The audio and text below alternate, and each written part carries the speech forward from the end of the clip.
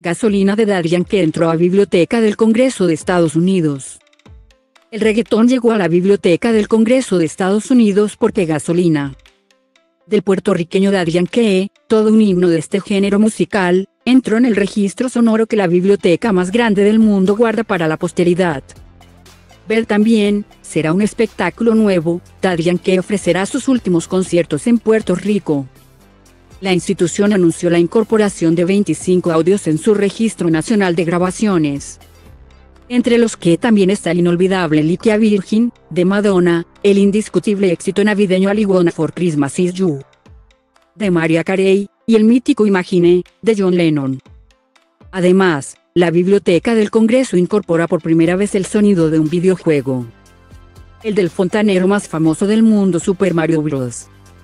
El registro sonoro y musical de este organismo, con sede en Washington, tiene como objetivo guardar aquellos sonidos que han definido la historia y la cultura de la nación. Informó la institución en un comunicado.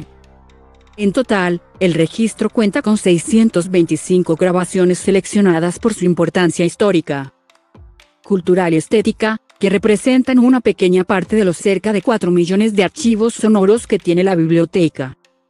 Las 25 nuevas incorporaciones, seleccionadas entre 1, 100 nominadas, abarcan el periodo desde 1908 hasta 2012.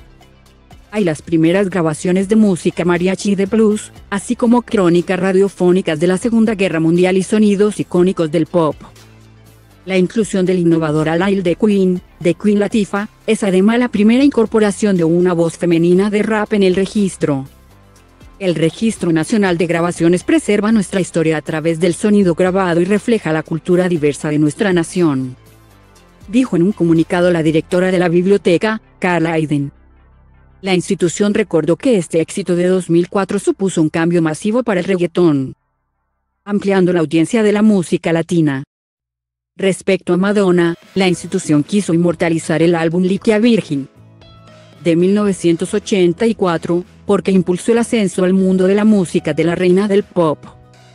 Mientras que sobre el popular villancico de Maria Carey, la biblioteca detalló que Ali for Christmas Is You tiene mucho más éxito ahora que cuando fue lanzado en 1994. Ver también, Daddy Yankee conmueve con homenaje a la canción más bonita, en el ocaso de su carrera.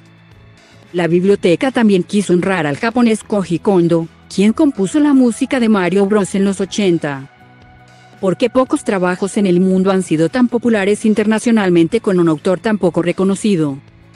Kondo, que tiene 61 años y todavía trabaja para Nintendo, ha compuesto la música de la película de Super Mario Bros. Una adaptación del clásico videojuego, que acaba de recaudar 377 millones de dólares en su debut en cines de todo el mundo.